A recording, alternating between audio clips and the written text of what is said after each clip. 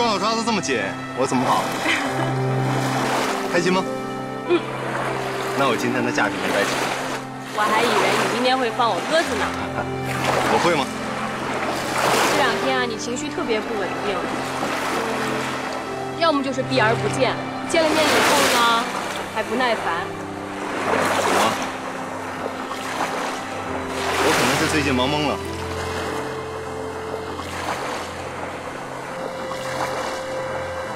其实我早就想好了，等我接了天下企业的班，我就好好陪你。哦，那你要是再晚一两个月接班，这一两个月你都不理我，怎么会呢？哎，拍张照吧。好啊。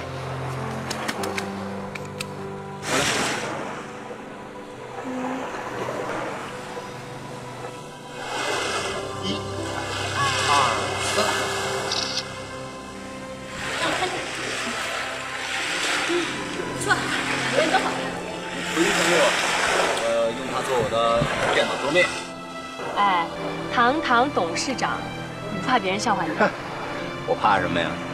你是我的未婚妻，我巴不得全天下的人都羡慕咱俩。要是能在这么美的海边拍婚纱照，该有多浪漫！是啊，碧海蓝天，帅哥美女，嘿嘿，我还真想不出来有什么比这更绝配的。对了，爹地说让我们半年以后结婚，会不会太快了？怎么会？我原本打算更早一点把你娶回家呢，但是伯父说半年就半年吧，可能他希望我这段时间把心思放在工作上。或许吧。先拖上个半年也好，省得给何小楠捣乱的机会。嗯，那既然半年以后就结婚，有好多事情要准备呢。是啊，没关系，你忙你的，这些我来准备就好。但是有一件事情好像非我不可呀，什么事儿啊？向你求婚。哎呀，其实这种形式上的东西我不太在乎的。真的吗？哦，那能省则省，所以啊就有也是可以的啦，做个纪念吧。哎，你欺负我！我哪敢？在胃冰凉以后，才能感觉蕾蕾，你把远在美国的父亲千里迢迢的请回来，让天下企业起死回生。我在医院里面跟死神拔河，是你不眠不休的陪着我，以身相许，才让我又重新的活了回来。天下企业跟我都因为你而重生。我不只要娶你，我更会好好待你，疼你。我要你成为天下最幸福的小女孩。你的家属于他，欺骗自己，同情自己，偶尔恨自己。爱不就自私，不然就别奢求。喂，伯父。好，我明白。那我明天去办公室跟你说。嗯，再见。爹地找你干嘛？还能干嘛？让我别背着他做坏事呗。哎，我爹地怎么知道咱们俩在一起啊？我怎么知道？忘了带饮料了，走吗？走，穿鞋，我带你吃冰激凌。好。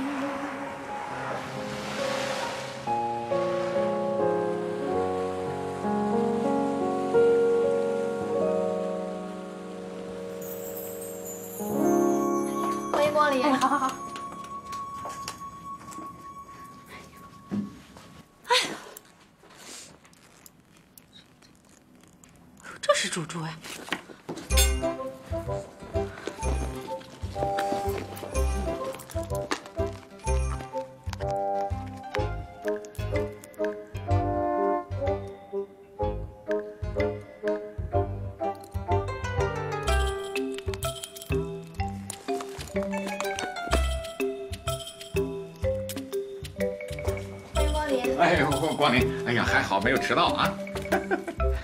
哎呀，怎么还喷呢？你这你这什么表情啊？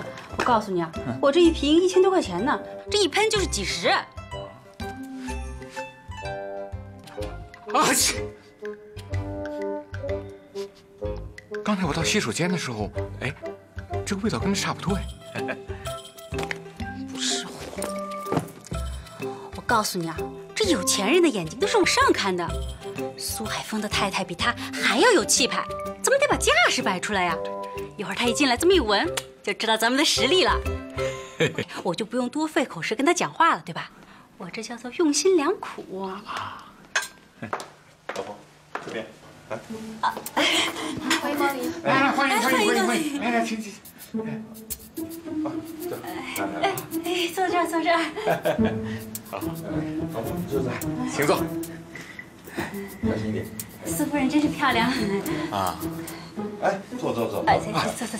好，哎我帮你介绍，这位是江玉凤，苏夫人好。是沈万海猪蹄加盟店的负责人。你好，你好。你好。啊，这位是他的父亲，是姜伟。你好。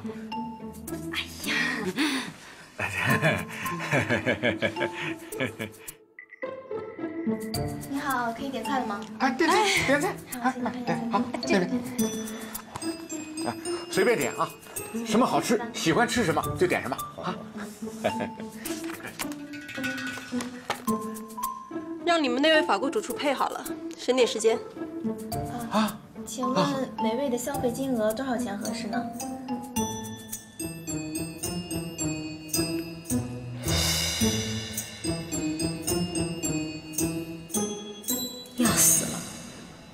多了心里头滴血，说少了又叫人笑话。哎，姑娘，这这这，等着你说话呢。哎呀，这最好的、最贵的，呃，不要管钱。呃，再来瓶红酒。啊，那产地年份有什么特别喜好的吗？啊？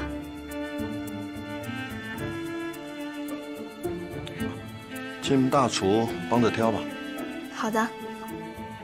啊，等等，麻烦门开着。哎，好的。怎么了？热啊？不是，我觉得空气不太好。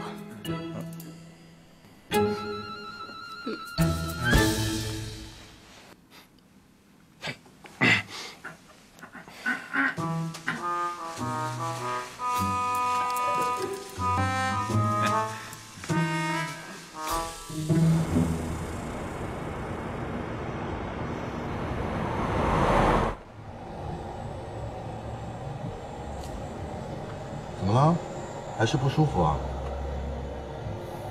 不舒服也是让他刺鼻的香水给熏出来的。海峰，咱们真的有必要今天晚上去跟他吃那顿饭吗？好了，我知道你想说什么，以后不勉强你就是了。不是我的问题。你真的有必要跟这种档次的人交朋友吗？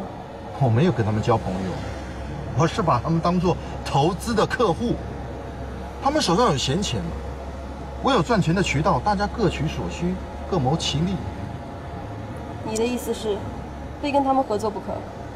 不是要跟他们合作，你没有看见吗？他们把我捧得跟财神爷一样，硬是把钱往我这塞呀。其实我也不是看不起他们两个，他们父女跟何家有姻亲关系。何小楠现在进了雷氏，本来就弄得人心惶惶的。俊贤现在是想甩甩不掉，你呢，自己倒往上贴。那你的意思？多一事不如少一事。你看他们父女两个财迷心窍那个样子，我就不相信他们真的受得起这大起大落的投资风险。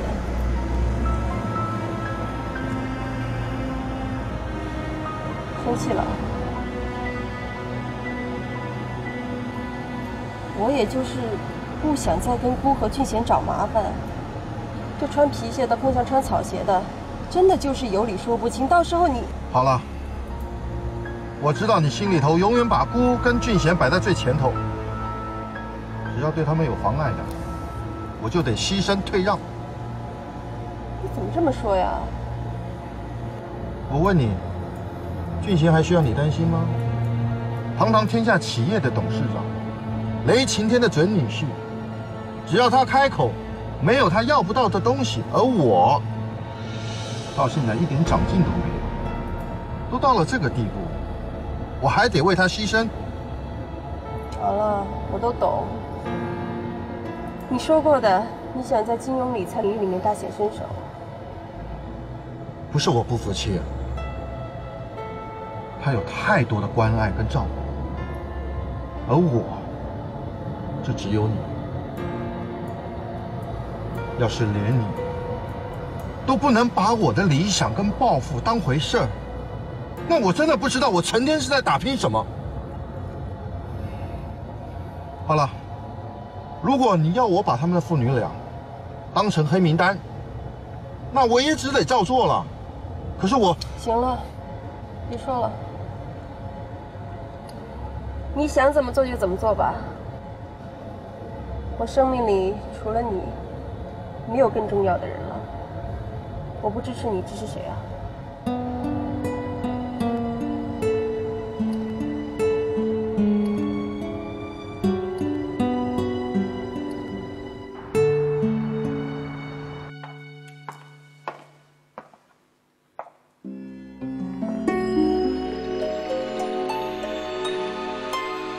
怎么可能就轻而易举的被我赶跑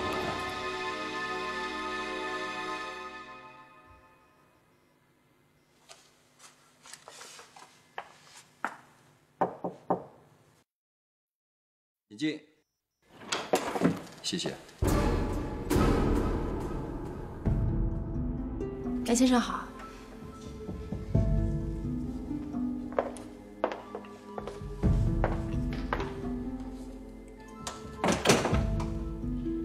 俊贤，坐。哎，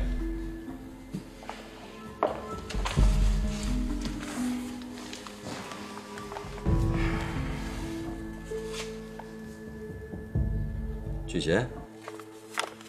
哦，伯父，山中传奇主体工程已经完工了，超前进度大概在八个百分。行了，搁那儿吧，待会儿我会慢慢的看。啊。好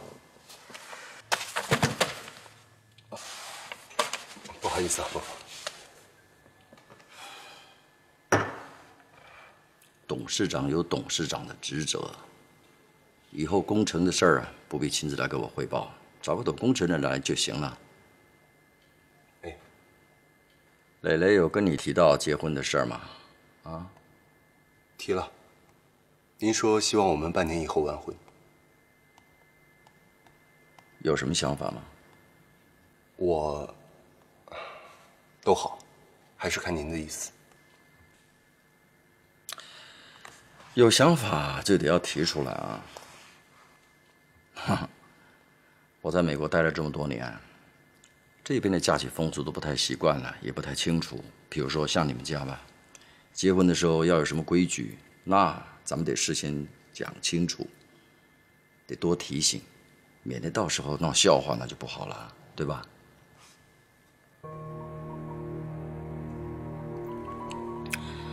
我跟你说话，你听到了吗？啊？啊，对不起，伯父，我美梦成真，反而有点腾云驾雾的感觉，真是不知道该怎么样形容激动的心情。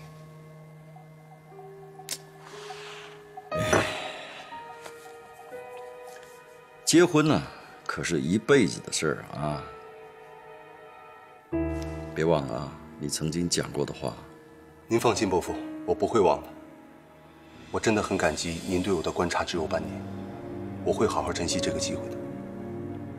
这样，现在我得提醒你一个观念啊，当初我跟你说过，这个投资跟情感是两条路。现在我得更正过来了，这情感跟投资有可能走到一条路上去，明白我的意思吗？明白。啊，伯父，我先把资料留在您这儿，等您有时间再看看。我先告辞。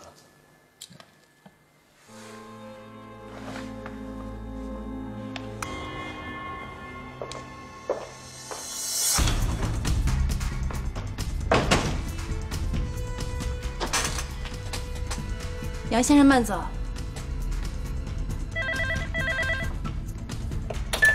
董事长，联系，请你进来一下好吗？是。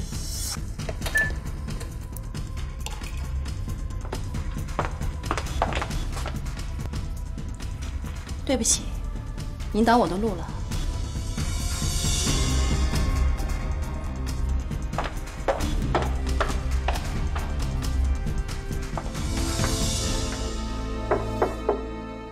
请进。董事长，你找我？哎，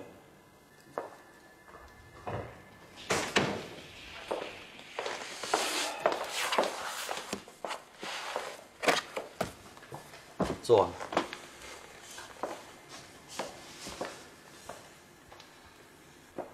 联系，你觉得杨俊贤这个人怎么样？呃，啊，没关系的，我只是想听听你的直觉。所谓旁观者清，当局者迷嘛，想听听你旁观者的观点。只是几面之缘。哎，就这几面之缘呢、评论起来才会客观嘛。董事长，蕾蕾订婚已经好一阵子了。是，接下来就要办婚事了嘛。哼哼，要真的是我老眼昏花、头脑不清的话，那也许现在还来得及，对吧？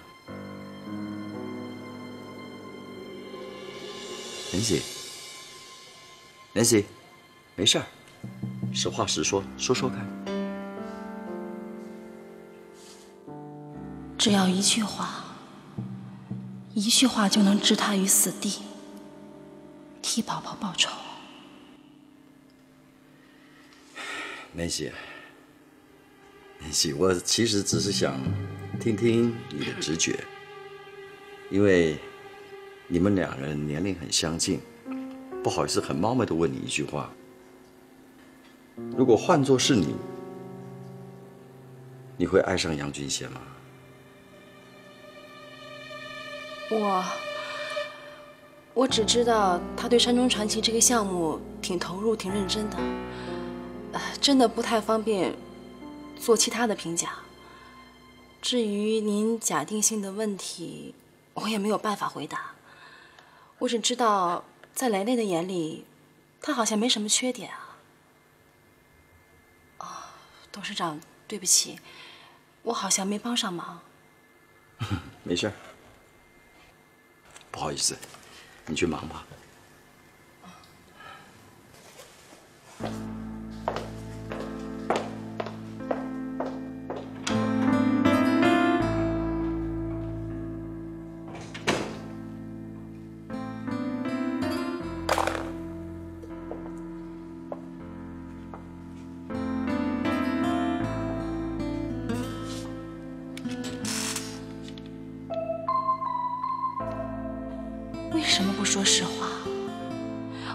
不把纠结在心里头恩怨情仇和盘托出？我在怕什么？继续隐瞒下去，不就成了助纣为虐的帮凶了吗？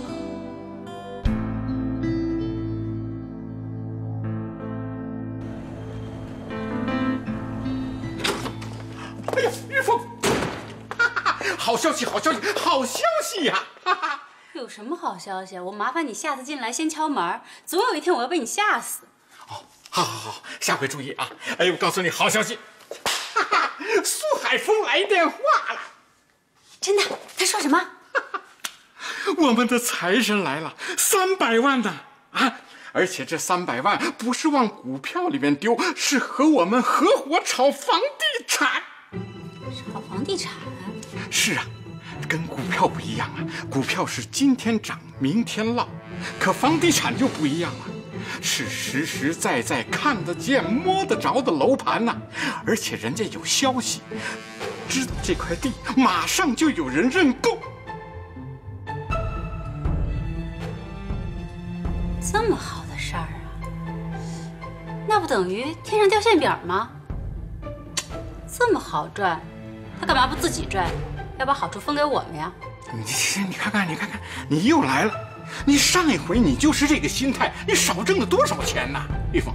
哎，人家都说吃一堑长一智，你怎么就不接受这个教训呢？哎哎，就你这么做小气，你还要呃租大办公楼，还当大款？哎呦，那么大声干什么呀？这是在沈家猪蹄店，你生怕外边的人不知道咱俩在干什么呀？啊，行行行行，我告诉你，玉凤啊，过了这个村儿可没这个店了。这回你要是再把财神爷赶出门去，我告诉你，江家的祖宗都不会饶过你。好好的，提什么江家的祖宗啊？那我要不说祖宗的事儿，你你就不知道这个事情严重性。那你答应他吧？废话。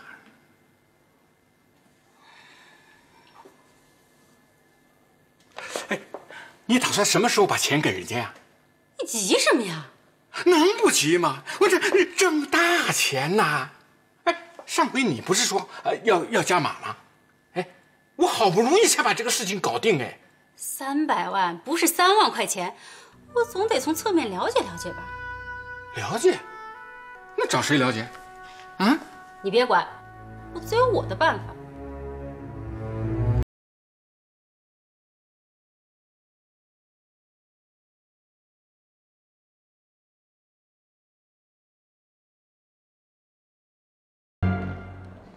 要是连你都不能把我的理想跟抱负当回事儿，那我真的不知道我成天是在打拼什么。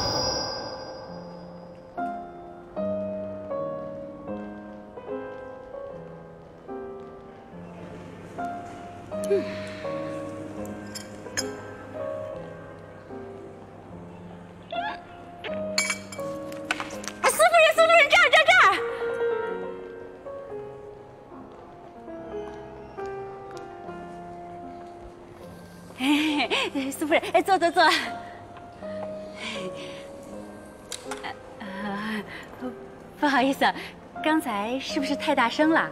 哎呦，我这猪蹄店里边待多了，一会儿招呼客人，一会儿又使唤伙计，哎不好意思啊，那个一时还改不过来。没事。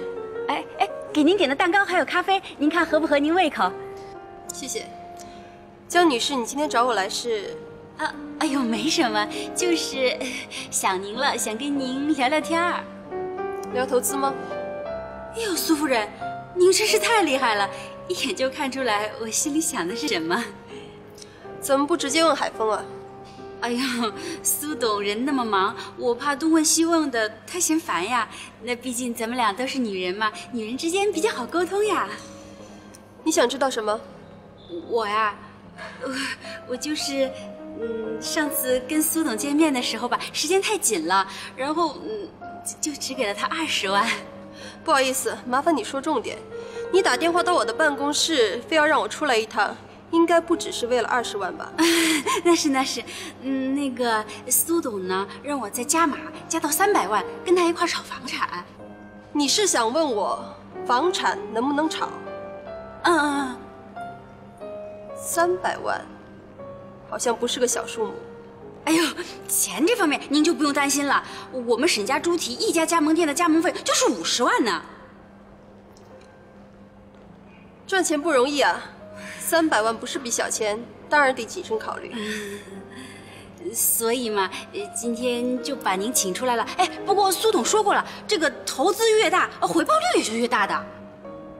投资越大，应该是风险越高。三百万要是抓住时机，一下子赚个几十万，应该也是不成问题。几十万？是啊，一眨眼就赚几十万，那我多眨几下眼睛不就？但是要是赔，也是一眨眼的功夫。尤其是炒房，住屋子里的人等着补偿，买房子的人等着转手。谁知道这破屋烂瓦下面藏的是黄金还是粪土？我们赔得起三百万，不一定人人都赔得起这个数。所以我时常提醒海峰，自己玩玩可以，没必要提着人头帮人家担风险，没那必要，对吧？这到底什么意思呀？你别把我的话弄反了，我不是说您赔不起这三百万，不怕一万就怕万一，对吧？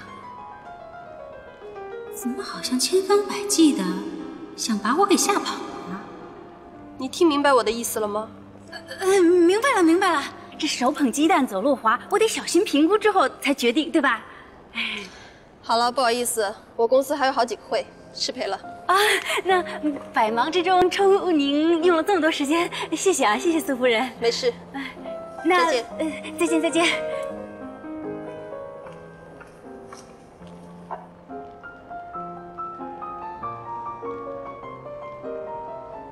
是怕我赚钱还是怎么着？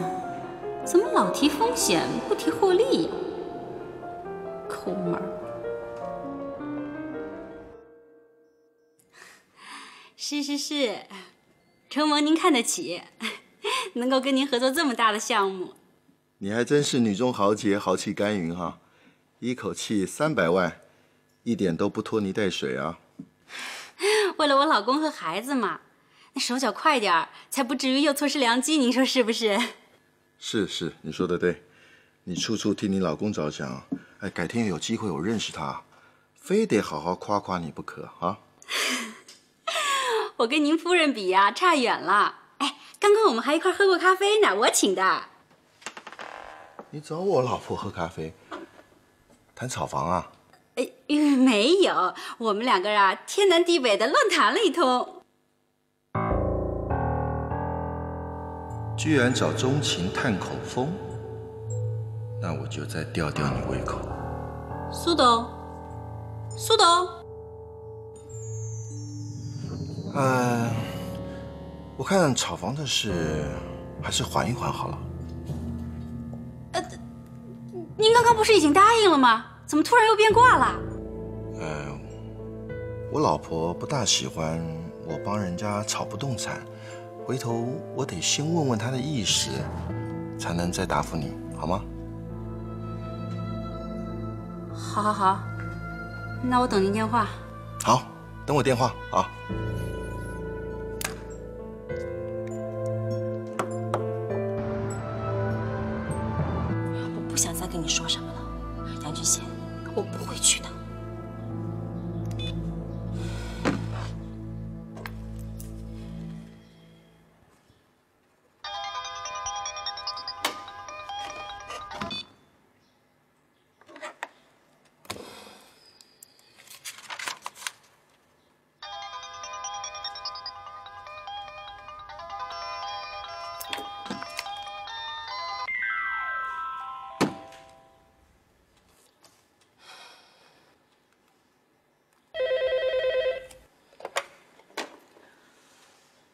雷董事长办公室，你好。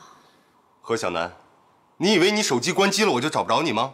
你阴魂不散的到底要干什么？我说了，我不会去的。就是一块吃一顿中午饭，大庭广众之下，我又不能把你怎么样。不跟你吃饭不是因为我怕你，我已经说了一清二楚，没有必要再见面了。你觉得你说清楚了，我没听明白。那是你的问题，我没有必要一而再、再而三的解释、再解释。不要再骚扰我了。我要挂了你等等，何小楠，你要是不出来的话，那我可以去你住的地方等你，或者我现在就去雷氏，咱们好好谈谈。董事长就在办公室，你要来我也无所谓啊。何小楠，你就这么忍心把血淋淋的真相摆在雷董事长面前吗？还是我去把雷雷叫过来，咱们四个人一块儿谈？杨俊熙，请你不要太过分。那你就听我的，咱们出来，私下里把话说明白。你说吧，在哪儿？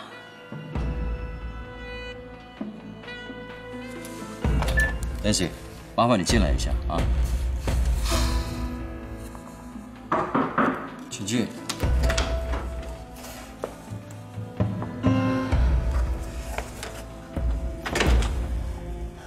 董事长，嗯。啊，莲希，麻烦你啊，待会儿这个影印十份，下午开会要用的。啊，是。莲希，呃，中午想吃什么？要不要一块儿去？啊，对不起，董事长，我中午有约了。哦，我是担心你了，每天吃饭盒可能营养不够。既然有约，那就算了，下回再说吧。啊，谢谢董事长关心，我会注意自己的身体，不会让自己再生病了。啊，不好意思，这个资料一会儿打印好给您送过来。好的。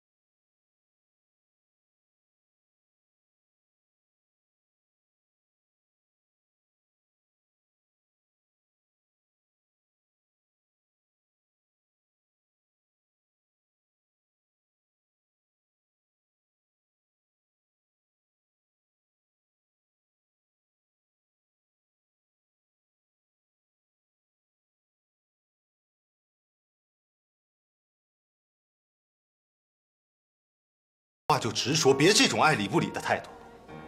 何小楠，我告诉你，今天咱们俩要是不把话说清楚，我以后还会继续找你。因为你的所作所为有违常理。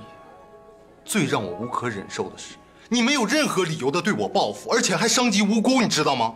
请你不要跟我提“伤及无辜”这四个字。要说伤及无辜，我还不到你的十分之一。我对雷雷真情实感，没有半点虚假，我怎么就伤及无辜了？啊？你处心积虑地进入雷氏，一心讨雷氏妇女的欢心，利用他们的单纯善良，来满足你报复我这个前夫的罪恶私欲。你为了报复我，把他们所有人的幸福都搭进去了。你这不是伤及无辜是什么？杨俊贤，你真的很可悲。哼，我可悲？笑话！可悲的人是你，是你到现在还没有办法走出离婚的阴影。老把自己当成受害者，把悲情的帽子扣在我脑袋上。不止雷青天跟雷雷无辜，连我都觉得我自己很无辜，你知道吗？你无辜？那孩子无不无辜？被你杀死的孩子，他就不无辜吗？什么？什么孩子？谁的孩子？我的孩子，也是你的孩子。被他亲生父亲亲手杀死的孩子，难道他就不无辜吗？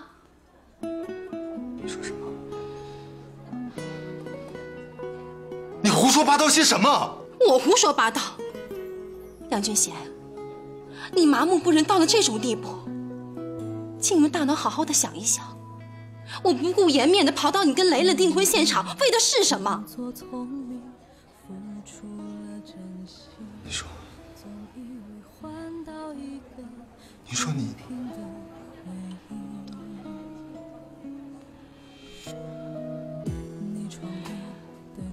可是你并没有。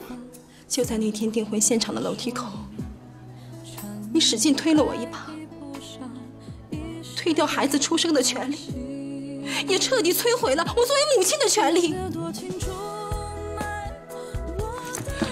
是你，就是你，你这个冷血无情的杀人凶手，亲手杀掉自己亲生骨肉的刽子手。我不，知道。你当然不知道，因为你根本就不在乎。不，小南，我真的不知道。我当时，我当时只是以为那是你要求复合的一种说辞。你也看到了，你也看到了当时我妈那个样子。我只是想赶紧结束那场闹剧。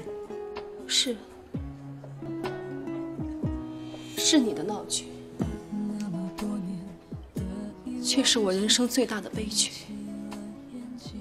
是无辜孩子最无奈的惨剧。他无辜到无法哭泣，无法申诉，无法抗议，无法向你求饶。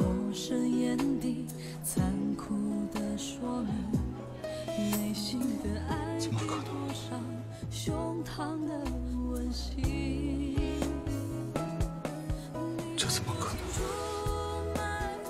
你风风光光的站在礼堂上，接受众人喝彩、祝福的同时，我一个人在大街上，叫天天不应，叫地地不灵。我想尽所有的办法，却仍然无法挽回孩子的生命。杨觉贤，你可能不知道吧？你的奢华靓丽的订婚典礼，也是你们杨家亲生骨肉的葬礼。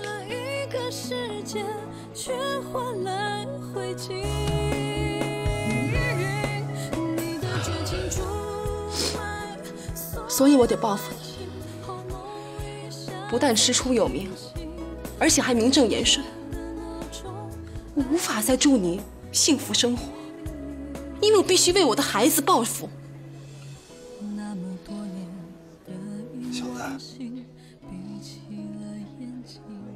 真的不知道。我以为世界上怎么可能有这么巧的事儿？你也看到了那天的现场，大家都以为你是来诚心来捣乱我的婚礼的。你以为，你妈以为，大家以为，你怎么不能拿自己的理智好好的分析一下我？我爹你有耍过无赖吗？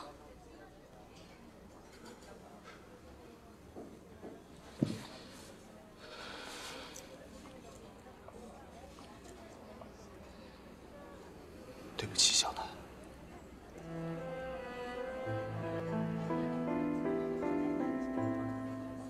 真的对不起。我真的不知道会弄成今天这个样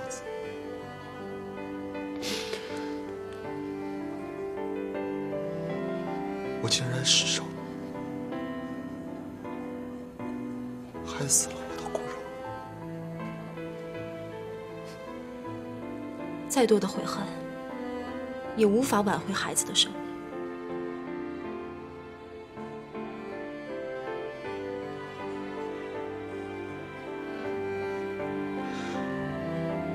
小南，不要再跟我道歉了，我也不会接受你的道歉。如果你真的心里有愧，就别再继续作孽了，好好想想该怎么为自己赎罪吧。不知道你什么意思？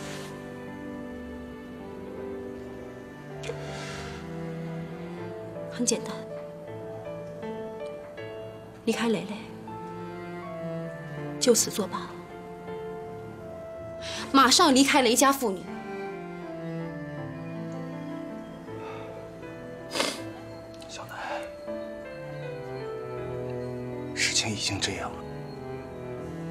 就别再拖其他无辜的人下水了，好不好？蕾蕾那么天真无邪。他对我死心塌地，对你全心全意的信任，你怎么能忍心残忍的打击他，让他跌入痛苦的深渊呢？他离不开我，跟着你才跌入痛苦的深渊呢。长痛不如短痛，他顶不住了，而且我也没有任何理由能跟他解除婚约，他没有办法接受的。没有办法接受的是你吧？你没有办法接受，才刚刚坐上董事长的宝座，就立马被拉了下来。你无法接受跟荣华富贵、功名利禄就此告别，所以你才不想放手。你根本就不是为了蕾蕾，是为了权力跟金钱。你个自私自利的小人，伪君子！不是，不是你说的那样，不是。也许你认为我说的都是无稽之谈。都是为了掩盖自己罪行的借口，可蕾蕾深爱着我，这是事实啊。这个时候，我要是跟他提出分手，一定会对他造成无法想象的伤害。你要是真的关心蕾蕾，就别逼着我跟他分手。在这件事情上，他什么都不知道，对他最好。不可能，真相总有大白的一天。你不可能瞒他一辈子。对啊，就是因为瞒不住，所以你才要离开雷氏集团啊。办不到。小南，你不退，我不让，难道咱俩就这样僵着吗？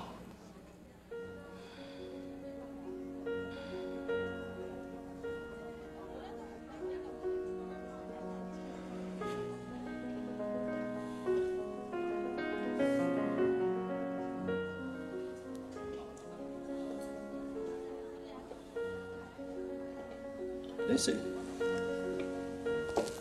啊，董事长你好。你们俩怎么会在一块儿啊？